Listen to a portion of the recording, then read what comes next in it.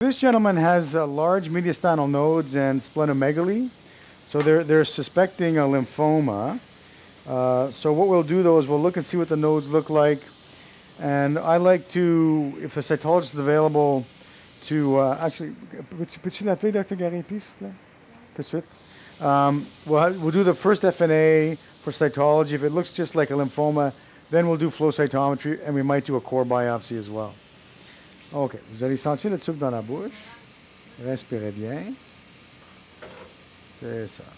Commencez bien respirer. Voilà. OK, voilà. Penchez la tête vers l'avant un petit peu. Avalez juste un petit coup. Encore un petit coup. OK, merci. Essayez de dormir si possible. Restez sur le côté. Sur le côté, comme ça. OK.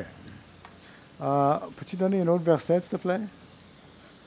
Okay, so with the mediastinal cases, you want to start though and look at the uh, abdomen anyway. Just a quick look at the pancreas there. There's the portal vein, and there's the pancreas. Okay, out to the tail, and then we uh, we we'll just give him this. Okay, and then um, we look at his celiac, and we, we want to find his adrenal. So you find the celiac axis here, and just torque right, and the adrenal is usually right there.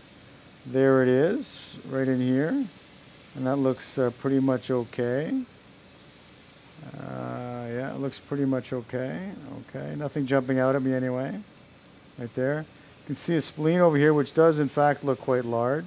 So pulling into the chest now, so we go to 30 centimeters. And then you look for the left atrium.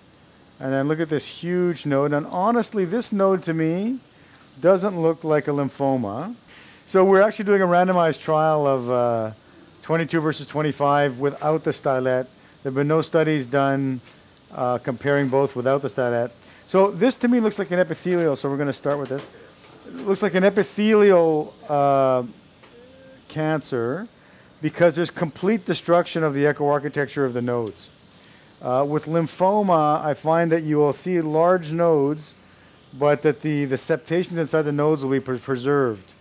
It could be a very aggressive lymphoma as well, though, but we'll see. So we put the needle in, no stylet, okay? The data clearly show the stylet is not necessary. I just let the, the stopper down go here. This, this is a 22 gauge needle. Okay, so we put the needle out. You can see the tip of the needle right there. Once you see where the tip is, you can just go in quickly and then just stop and look for the tip. And once you're in, back and forth, okay? I do a little bit of suction still, even though apparently the data show it's not really necessary. And what I do is I come back, and we don't do fanning, which is where you stay inside the lesion and try and with the elevator and go somewhere else.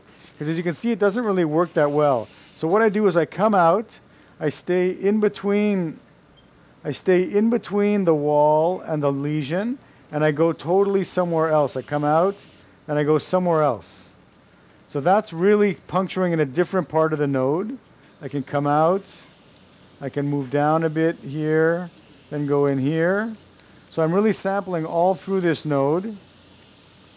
Okay, coming out again, pulling back. And I'll go here now.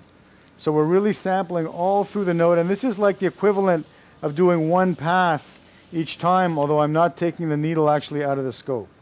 So I call this the multiple pass technique.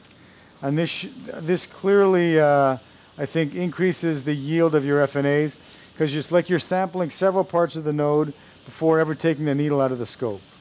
Okay, so now we're going to pull this on the slide. Okay, and when there's no stylet, the, the nurse can just sit back and relax while we do all this. So now we're switching needles as part of the trial. So this is 25. Uh, this is 22, sorry. Up to here. Okay. So we locate the tip. There's the tip. And you see the, vis the, the visibility of the 22 is just as good as the 25. Or I should say the 25 is just as good as the 22 if you ask me. There we go, we're in. The difference is that the 20, 25 to me is easier to manipulate with the elevator and stuff. It, it's not an issue with this case, but if you're in the duodenum and stuff and you need to use the elevator to get the needle to go, to go down, I think it moves much easier with the 20, with the 25. And our preliminary data show really no difference in the yield between both needles. which was sort of expected. But I really find the 25 easier to use. Okay, that's it. Uh, voilà. So the cytologist says it's uh, abnormal, for sure. It's very necrotic. And he says it's either a large cell lymphoma or a large cell epithelial cancer. So what we're going to do is just a, a cell block, and we'll do flow cytometry as well. So you see, we don't really need a core in these kind of cases. I find it's really, really rare that you need a core uh, because the core is really, if you're looking for the structure for a lymphoma, but if it's a large cell, from what I understand, you don't really need need the uh, structure. Um, okay, restez sur le côté comme ça before they start treatments.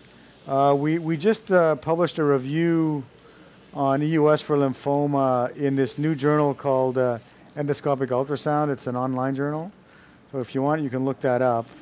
It kind of reviews all the data on how good EUS is for diagnosing this and for subtyping uh, lymphoma.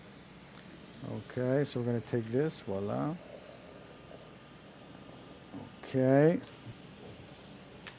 And we could take a quick look at his liver and see if there's any liver mets or anything, but I, it's unusual, I find, with lung cancers to find liver mets on EUS. I don't know why, but it's, uh, but it is. This sheath is really coming out very far on the scope. Okay, so there's the nodes again. And the problem with this case too is that it's very necrotic. So if you don't get live cells, you can't really make a diagnosis. So you really need to try and sample a lot. Flow and, uh, and just a cell block.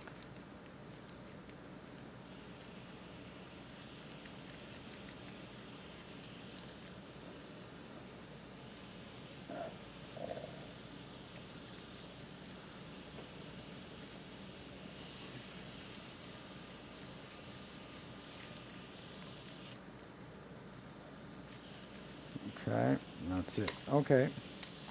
I think we'll pull out here. So mediastinal nodes, uh, if you have a cytologist, um, you know, the advantage is that it gives you a, immediate diagnosis. But I think that if you don't have a cytologist, you just do, you just have to do samples for a cell block and for flow cytometry. The cell block basically replaces the slides because you put them in a cell block, they spin it down, they put it in paraffin, and they basically make slides. So there's, when he's not there, I don't see the point in making slides. Um, when he's there, I make slides so we can look at them obviously right away. And the advantage of obviously having him there is you get a, an immediate answer. And if it shows that it's really not an epithelial cancer, then you know for sure that you have to do the flow cytometry. I don't think it really affects the yield. I think that sampling mediastinal nodes were very good. So even if he's there or not, if you sample all through the nodes, you're going to get adequate tissue. The advantage, as I say, is that you get an immediate answer, and it lets you know for sure if you're going to have to do flow cytometry and special studies or not. If not, as I say, you have to do them anyway, so it may just save you some time. So a bottom line is in this gentleman, I think it's really hard to tell. It's either a very large, very aggressive uh, large cell lymphoma, or it's just a very aggressive large cell epithelial cancer, and it's the special stains that, that are going to tell us.